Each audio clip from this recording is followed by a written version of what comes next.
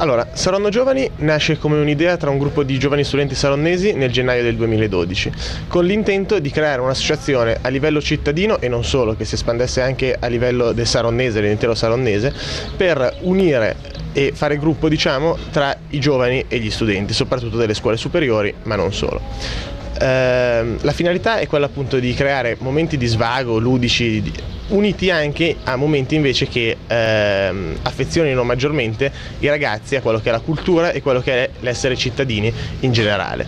Eh, su questo abbiamo già proposto diversi eventi di cui adesso parlerà Umberto.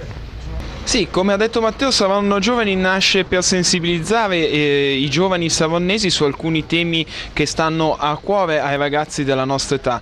Sino ad oggi abbiamo organizzato una serie di iniziative, tra cui il 26 maggio 2012 un incontro sulla salute delle università in Italia e eh, i test d'ingresso, che hanno sicuramente un ruolo importantissimo nella nostra realtà studentesca. Eh, su questi temi sono intervenuti l'onorevole Lara Comi e la dottoressa Veronica Maini Mainini per spiegare appunto dirett- eh, concretamente cosa si sta facendo in ambito studentesco ma anche politico eh, per quanto riguarda la scuola in Italia. Successivamente il 13 settembre 2012 abbiamo organizzato e promosso un torneo di calcio preceduto da una discussione sullo sport insieme al um, fisioterapista del Milan Giorgio Puricelli e, ehm, e siamo riusciti con uh, soddisfazione a riunire nel nome dello sport più di 70 50 giovani. E infine eh, nel mese di gennaio di quest'anno abbiamo organizzato un incontro sulla sicurezza perché spesso nostri amici, parenti e compagni ci dicono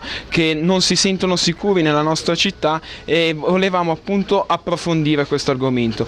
E soprattutto perché sui treni c'è questa sensazione di disagio sia fisica che verbale perché spesso molte ragazze sono state aggredite verbalmente e alcune sfortunatamente anche fisicamente.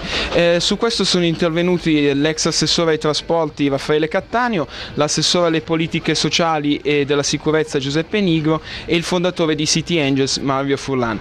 I prossimi eventi che abbiamo intenzione di organizzare sono un pochettino più ambiziosi proprio perché cercheremo di trattare temi ancora più importanti per i giovani come la musica e il cinema. Da settembre, con l'inizio dell'anno scolastico, Saranno Giovani si è anche dotata di un proprio giornalino che funga da megafono per tutti i giovani. Questi numeri, che sono mensili, contengono una sorta di editoriale di stampo più politico, ma anche eh, articoli scritti da noi stessi giovani sui temi da noi preferiti, lo sport, la tecnologia, ma anche per pubblicizzare e far conoscere altri eventi del, del nostro territorio. Per chiunque volesse partecipare eh, è possibile contattarci all'indirizzo email info saronnogiovani.it e parlare con il responsabile di questa iniziativa Alex Alberio, Alex Alberio eh, per eh, proporre i propri articoli, i propri commenti riguardo a questa iniziativa. A distanza di oltre un anno dalla sua fondazione, facendo un bilancio, si può dire che Saranno Giovani è assolutamente in attivo e in positivo per quanto riguarda risorse umane e anche idee che sono scaturite in questi, in questi mesi. In questo momento siamo alla ricerca di una sede che abbiamo trovato e dobbiamo adesso sistemare un paio di questioni burocratiche. Una sede che vorrà essere, per quanto possibile, un punto di riferimento, un luogo di ritrovo per i ragazzi dove poter studiare, scambiarsi opinioni, divertirsi, fare di tutto, insomma. Eh, come dicevo, in questi mesi sono scaturite diverse idee, diverse proposte che sono state poi girate all'amministrazione comunale per far sentire in qualche modo la voce dei ragazzi in, in materia di sicurezza e di scuola. Passo adesso la parola a Umberto che parla delle proposte sulla scuola.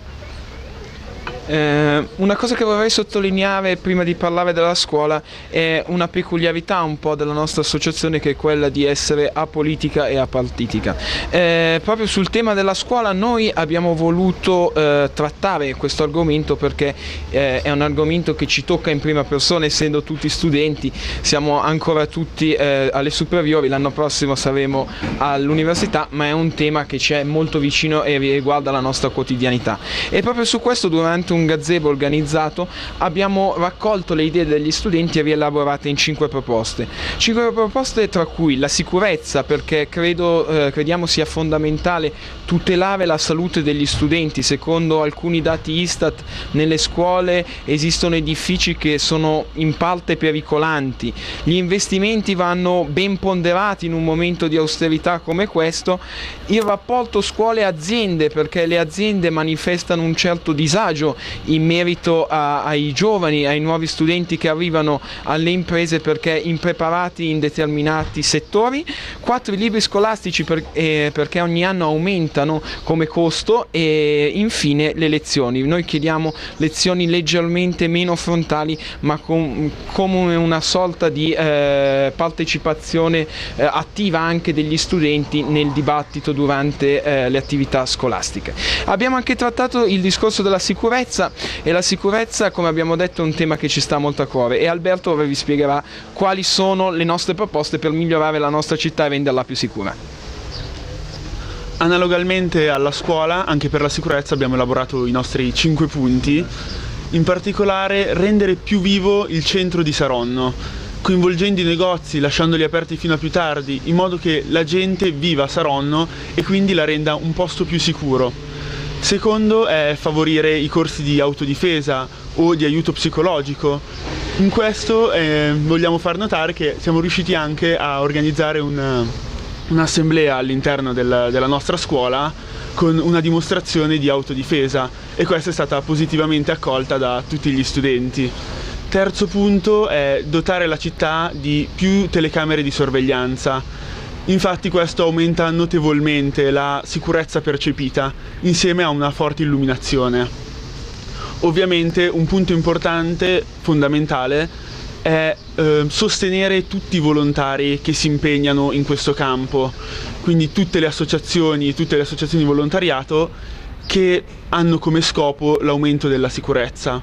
Da ultimo una maggior presenza anche delle forze armate sul territorio, quindi la polizia, cercando di dislocare eh, i poliziotti impegnati in lavori di ufficio per farli andare sul territorio, in particolare in quelle zone come eh, Piazza Cadorna, Piazza De Gasperi e Piazza della Libertà proprio per raccontare quanto fatto dalla nostra associazione nel mese di gennaio e di marzo abbiamo deciso di andare in alcune scuole tra cui il liceo scientifico GB Grassi e il collegio Castelli per ehm, spiegare ai giovani che non partecipano direttamente alle nostre iniziative quali sono state le nostre proposte e quali sono stati i nostri eventi. E soprattutto per affermare una cosa che la nostra associazione non, non è aria fritta ma anzi cerca di fare qualcosa.